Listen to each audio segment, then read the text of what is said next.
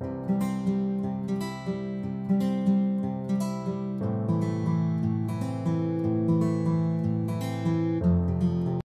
everyone, this is a continuation tutorial of this property management system. Till now we have covered uh, like lot of features of it like how you're going to face the details, save the details and display all the property details. So if we logged in over here like I have started the application in the backend and now if we logged in means I'm just trying to summarize that what I have covered over here. In a dashboard we have showing the details of uh, all the properties. Then uh, we are having this add and update edit delete properties view properties over here. So now here like we are giving the options to book the property details. But now like instead of that what we are going to describe over here instead of book once like user interest of any properties then if they want to get the details of it is like different types of images and all so instead of book we can give the one button which will be the view details. So once user clicked on the view details and then they will be redirected to the in the view details page view property details page. Over there they can able to view the details of the properties. And after getting the details of the properties they can book the property. And we are going to save the details. So what we are going to done today's tutorial we are going to give the button which will be the view details. And then once the user clicked on this view details button then it can they can like view the details properties. And also I will add one more properties over there. Like the images now it will be coming in a scroll kind of thing. Means you can see the multiple images with scrolling kind of property details over there okay? So now we need to write the code for it. And uh, also like we need to means I will show you how you're going to proceed further. So for that we need to create one component first of all. So here if you see that view properties over here. So instead of that what we are going to create the component? We are going to create the view details property. So how we are going to create the component? So let me here ng generate component okay? Where we are going to create the component? Components slash view details property okay? So here we are going to create like under this components folder we are going to create this component view details property okay? So once we will generate this one let me close all the files over here okay we need to close all the details things over here. Let it uh, open the route. Here we need to add one property so I'll show you that what details we need to add. So here first of all we need to add the css uh, sorry not the css first of all we need to add the html file and then we need to add the component. So for html file what we are going to display the properties details over here? Like we need to display the property details uh, property title and all over there. Uh, like title then the location property city state and then the images okay? So how you are going to doing this one? And here also you're going to add two button. One is the book another one is the learn if you want to get more details about it. So this is about this HTML file. So here if you see that we are showing this property title then property location. Here we are just combining this city and state. So for showing the images in a like uh, slide mode we need to use this one. Okay this css we are going to use. Okay this is coming from the bootstrap. Uh, so for that we need to in a angular json file. So in a script one script uh, so here we need to add one like uh, js file okay? So this is actually the bootstrap bundle js file. So this bundle js we need to add over here. Once it will be add then here if you see that we are receiving that uh, uh, these images okay? So here we are going to use this for loop. Using the for loop we are adding this multiple images over here so what we need to do like while we are adding the images then we need to give one feature so that admin can add multiple images and we need to store those images in somewhere either in the database or in some uh, like static folder or the physical folder. Over there we need to add those property images. From, from there we need to fetch those images and we need to display in a display those details in a loop over here like this okay? So it will be display those things in a uh, slide one. So here we are giving the options to PVS and the next. And the finally we are adding two buttons over here. So this is about this HTML now uh, we need to add the details over here in a typescript file okay so what we are going to do like once this will be load then we need to uh, okay before that we need to add this route over here. And we need to add another things while actually in a view property actually basically like here.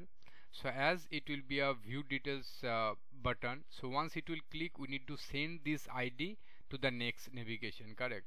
So how we are going to doing that because if we are not going to pass this uh, uh, like ID then how we are going to get the details? Even there is a two options. Either we can store the JSON details of this particular properties in a local storage and then based on the ID we need to fetch the details and we can display the details into the next page.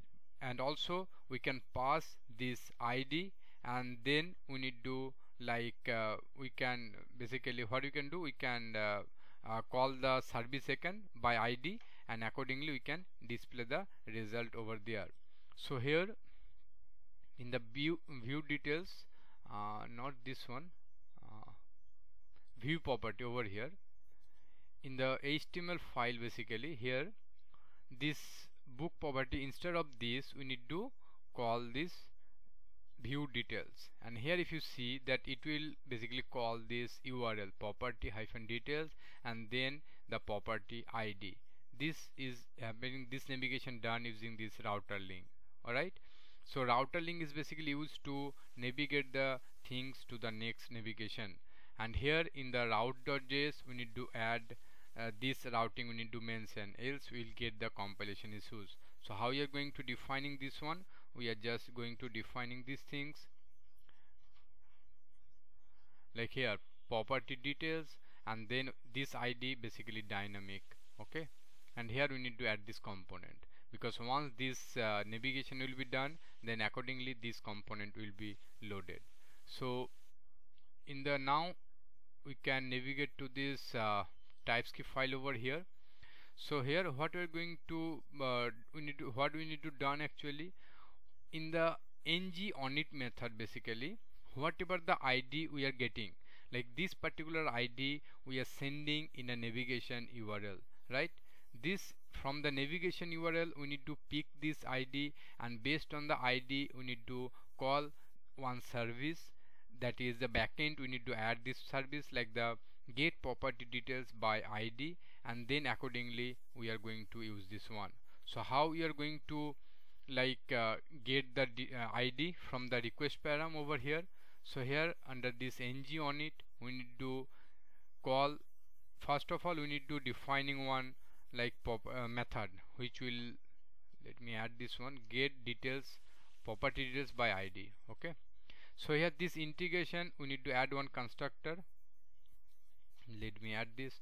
So here we need to use this integration service okay? And the activity route for getting that like uh, for uh, what I say that for fetching the request param basically from the ID we need to add this one like this okay?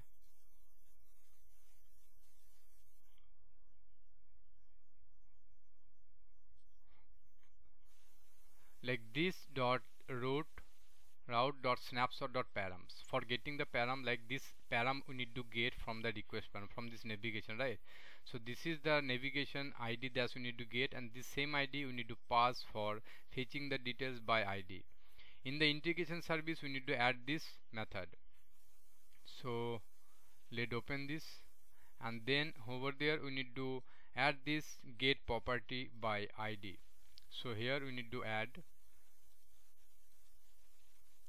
get all property by id what it will return here if you see that URL will be the get property by ID and here we are passing this ID what it will return? It will return the property because it will return the single ID details response right? So it will return the only one property.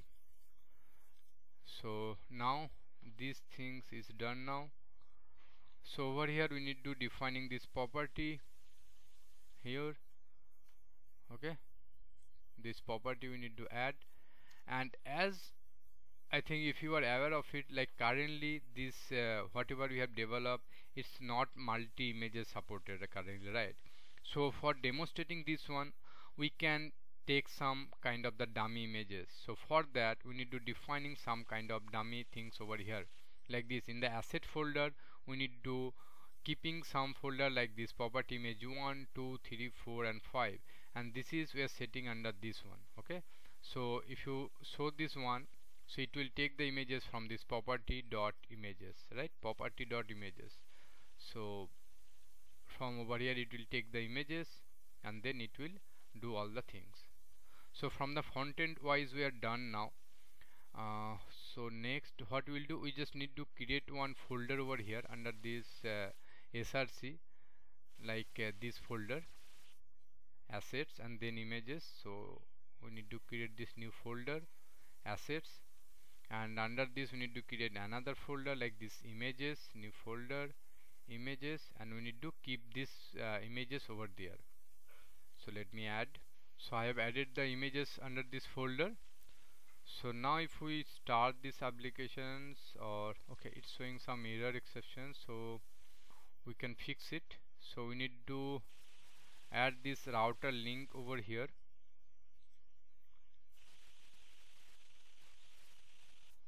In the components then view property. In this TS, TS file we need to add this uh, router link right? Because we are using this router link over there so we need to add it over here router link then it will be gone. And next we need to add here basically reactive form module. This we need to add. And then we need to add this uh,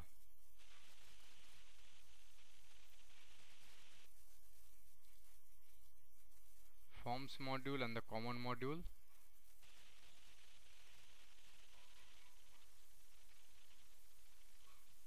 okay so the build is done. Now like if we see over here so you can see that view details is coming. Now if we click this one then we can see because that uh, method actually find by id if we open this network tab. So over there if we see you can see that uh, uh, okay images are not found. So we need to see like why these images are in the angular json basically under this asset one we need to defining this uh, asset path.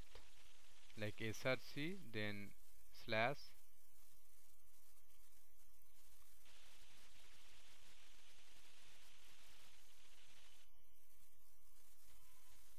this path we need to define. Okay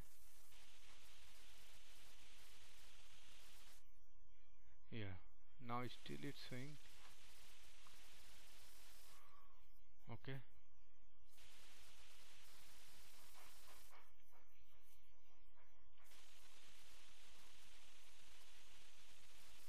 Okay let me restart this application. Build is done now.